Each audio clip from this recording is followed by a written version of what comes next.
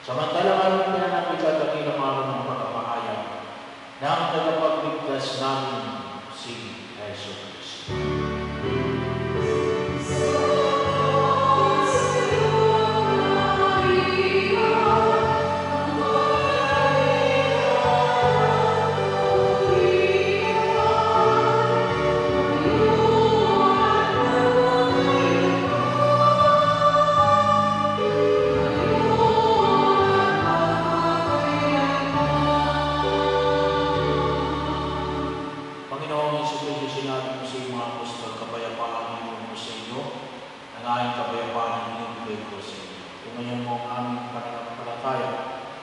Ang aming mga pagkakasa. Pagkalooban mo kami ng kapayapaan at pagkakaisa sa kalooban, kasama ng Espiritu Santo magpasawalan ng pagkakas. Ang kapayapaan ng Panginoon na lang Ang bigayan kayo ng kapayapaan sa isa't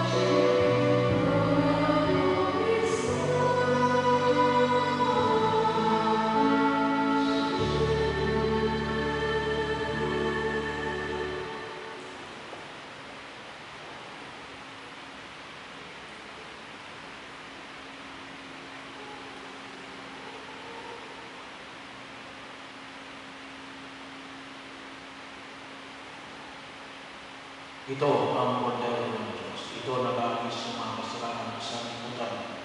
Mapapalad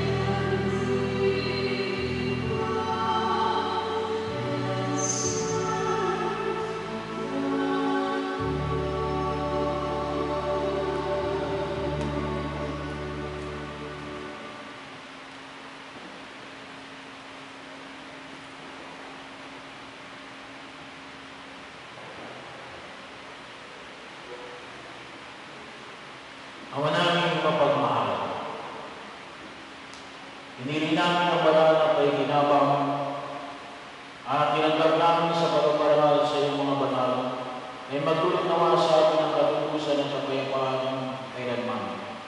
Sa pamagitan ng Yesu Cristo kasama ng Espiritu Santo, magpasawala hanggan. Nawa po ano, ay nais ko lang po bigyan ng diin na ang mga anak ni sa dahil sa inyong araw ng biyernes ay para madagdagan, madagdagan Yahweh El Shaddai. Amen?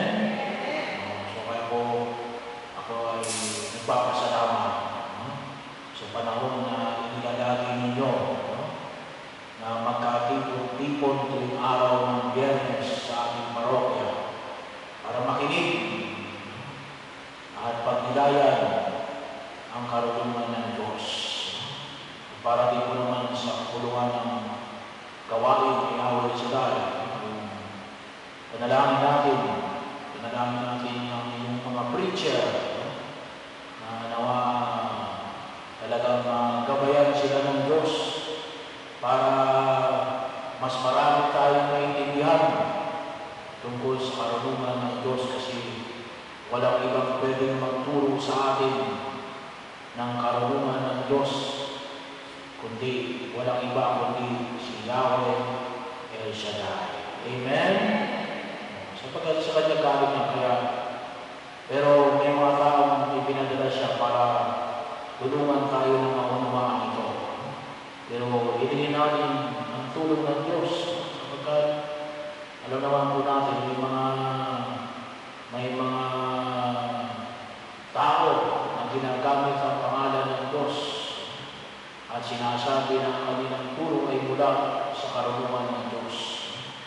Pero ibinubulit ang tao sa kapahamakan. Kaya